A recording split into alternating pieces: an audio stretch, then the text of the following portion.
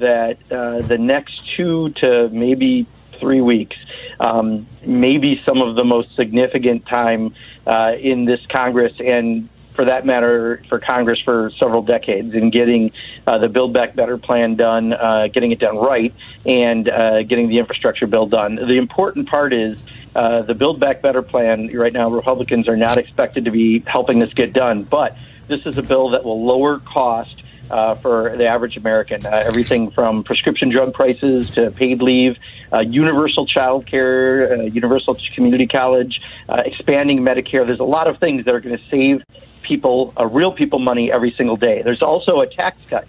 Uh, by ex- uh, extending the child tax credit, the tax cut, uh, most people will see who have children will get a, a essential tax cut from that. Uh, we also are creating millions of jobs, many that focus on climate change, and it's paid for uh, by the wealthiest and big corporations that uh, either pay no taxes or hide their money overseas. Uh, this truly is a game changer of a bill. Just the child tax uh, cut part alone will lift half of the children in this country out of poverty. So we're going to need people to be very active on their phones, to be pressuring their members of Congress to do the right thing. The special interests are cranking up for everything from advertising to lobbyists knocking on doors.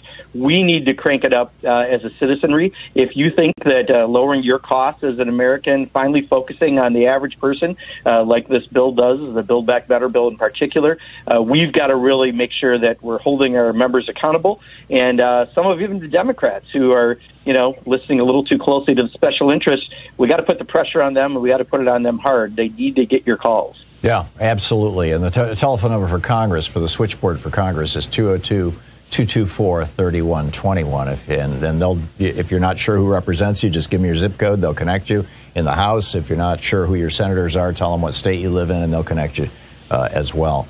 And spot on. If I can, Thom. Go ahead. Oh, I'm sorry. Uh, one thing, too, that's real important. I, I've had some people, including some Democrats, say, well, they're just trying to compromise. You have to compromise to get something done. This bill started at $6 trillion. That's what Joe Biden wanted. Uh, thanks to Bernie Sanders and others who helped negotiate this, uh, we're at 3.5 trillion. So it's already uh, just a little over half of what Joe Biden wanted to go any more to make Joe Manchin or Kyrsten Sinema happy when they've already watered down an infrastructure bill would be a really awful idea because you're not going to have universal child care if you have to water this bill down anymore. You won't have universal community college if you have to water this bill down anymore. So uh, it's real important that people understand we've already, this is a compromise. And Bernie Sanders did, I think, an amazing job in working on this compromise. Progressives have his back in the House uh, on this compromise. But this is already a compromise, and to uh, go any more isn't a compromise. It'd be really gutting the bill. Yeah, and let's ma- make, remind people that this is three and a half trillion dollars over ten years. That's three hundred fifty billion dollars a year.